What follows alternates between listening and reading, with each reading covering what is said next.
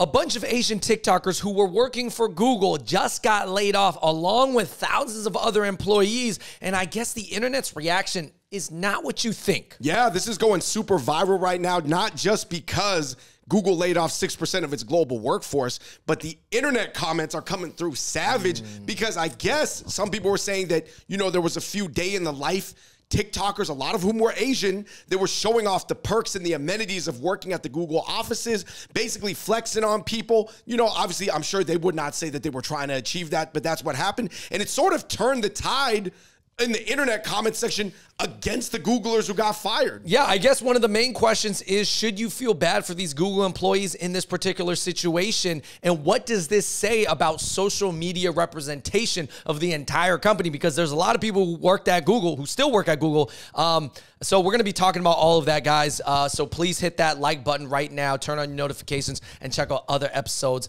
of the Hot Pot Boys. Let's get into it. All right, the first main reaction, actually, uh, Andrew, is people happy that these people got laid off. Now, I don't know if they're happy that all 6% got laid off, but perhaps there is a stereotype based off TikTok that the people who got laid off were not doing any work and they were just enjoying the free amenities, yeah. breakfast, lunch, yeah. endless lattes, massages all day. By the way, I'm not saying that's true. That was the perception. Right. And listen, guys, I, I don't think anybody's happy that people are unemployed now. I don't think it's good for the economy. It's not good for everybody. You know, ideally, you want as many people working as possible. That's, you know, so I feel bad for that.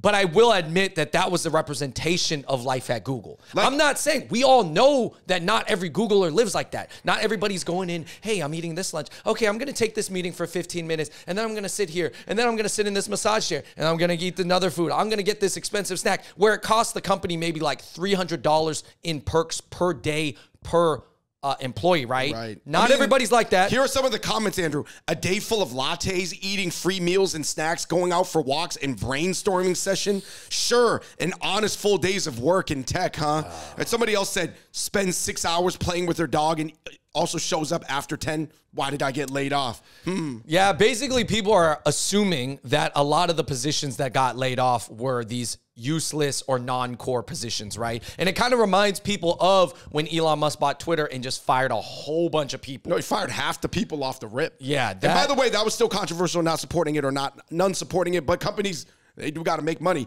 Moving on to number two, Andrew. I guess that was point number two. Someone said, "Whoa, it's capitalism. Welcome to capitalism." Because, uh, you know, obviously, big tech has been a in a historic 15 to 10 year bull run, and a lot of things in a bull run you cannot do in a bear market. Yeah, I mean, basically, uh, Sundar Pichai, who is the CEO of Google, and obviously had to lay off and, and make the call to lay off a bunch of people, and. Uh, he basically said over the past two years we've seen periods of dramatic growth. To match and fuel that growth we hired from for a different economic reality than the one we face today. Basically what he's saying is like listen guys when we were growing and the market was up and the and, and it was all good we were hiring a lot of people. Everybody, More masseuses. everybody was loving everybody it. Everybody get a masseuse. No everybody was a part it was a party every day. And then it birthed the TikTokers right who are like oh my gosh life at Google is so great. And then which is how they portrayed it by the way um and then now he's like, yo, listen, stuff stuff done changed, guys, and I'm sorry, and it's not the same, so we got to let go. Now, they still hired like I believe around 20% in the past 3 years, so they hired a bunch and then they just let go 6% very quickly. So they still kept a lot of the people, Yeah, there's still a higher employee headcount versus like 2019. Right. But in the past three years. Yeah, yeah they're going to cut a lot of people who got hired since 2019. I'm not going to lie, six percent right off the rip, very quickly in one day is a lot. It's it's it's a it's a lot. Yeah, but you know the entry level jobs at these FANG companies, they are generally starting in the six figures, at least 100k to off the rip. But basically, a lot of people said, "Hey guys, I noticed that the majority." of the layoffs actually came from non-core engineering positions. So you did not see any hardcore data scientists announce oh. that they got uh, kicked out, and you didn't see any hardcore master coders get kicked out. I wonder why that is. Is it because there were positions that were bloated? Uh, yeah. So this is based off of a comment, and uh, multiple comments were like this, where people were looking at their LinkedIn timeline, their Facebook timeline, and that's what they saw. Obviously, there's no I don't think there's an official stat. Google's not going to reveal to us the amount of positions of what department they let go, right? Right the hardcore nerds, I kept them because they're really building the product and making it uh, work. But but they weren't all new employees. There was people who came out and said, "Yo, listen, I worked 20 years uh, at Google, or I was a software engineer, management in management." Right. And I just got let go really quickly, too. So it's not all these new young uh, Gen Z, uh, even millennial kids who are used to this fluffy lifestyle. Like these were people, some of them were still people who had given their life to Google or was, you know, spending the last couple decades there. Someone said, you know, this is why you need a union.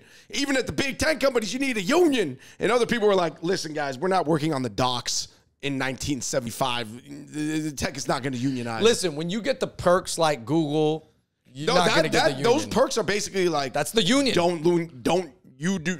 This is it. Yeah, yeah. And and by the way, guys, the layoffs of Google, it wasn't just Google. It was a lot of big tech companies whose maybe perks weren't quite on the level of Google. No, I've been to the Facebook offices. I've been to the Google offices. Let me tell you this: Google's perks are even far beyond Facebook. They're top notch. Yeah, you can get like a haircut. Yeah, and and we're saying that there's a lot of other tech companies will pop up this image here that let a lot of people go that didn't have the perks like Google. So not everybody was this spoiled Googler, okay? But anyways, uh, David, what's your personal takeaway? Kind of wrapping this all up. Like, is the internet being just super unfair right now? Is it kind of like always taking the most negative uh, uh, perspective on things? It is, but I hate that it had to be against like the Asian women. You know, I think Asian women disproportionately were represented in the entry level FANG hiring over the past three years. It wouldn't shock me because obviously a lot of Asians, we go into tech too. So then who else is gonna make a TikTok? TikTok is designed for young women. So you you have the convergence of like entry level tech with TikTok. Of course, all the people doing day in the life videos are gonna be young Asian women or like disproportionately. So I hate that it had to be them. But yeah, you know, it probably did create a, a larger macro tide of sentiment against the Googlers. Yeah. And I think that obviously there are a ton of very smart, very hardworking people who are clearly their jobs are very difficult and they're working long hours for Google, I'm sure. But you know, they're not being represented on TikTok. They don't make the TikToks. I don't know. Maybe Google. TikTok is like you have to be kind of good looking to be on TikTok. You got to be fun. People want to gotta listen to you, and you also kind of have to have the internal desire for like some recognition or clout. And, and, and, you know what? This was months back or like the last year when I did watch people do the day in the life of any job, not just Google, of any of their marketing jobs, and the way that people would make it sound was so easy. And I'm like, but I'm like, don't you want to show people you're working hard? I'm sure you did some work.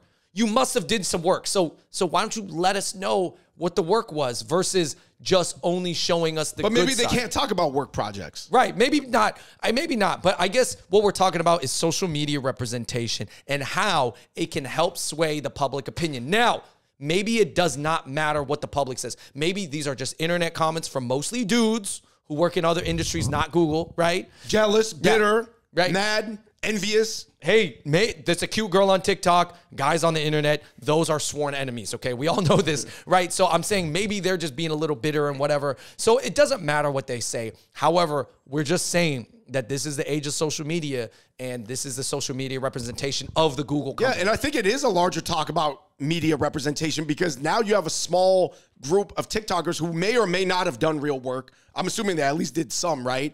But they've turned the entire tide against 6%, uh, 12,000 people who got laid off now. Well, you know, I'm sure that You know, if you have Google on your resume, trust me, it's way easier to get another job. But trust me, I don't think one of the top Sundar. Pichai was looking at the public opinion on who to fire. He wasn't like, oh yeah, like, uh, oh everybody thinks these like TikTokers are like, you know, wasting time. I'm going to let them go first, right? He's going to look at the bottom line, look at the money reasons, and as a company, as a corporation, that's their job. So this is America. It is true that this is capitalism, right? This is how things work. You make a lot of money, everybody's happy.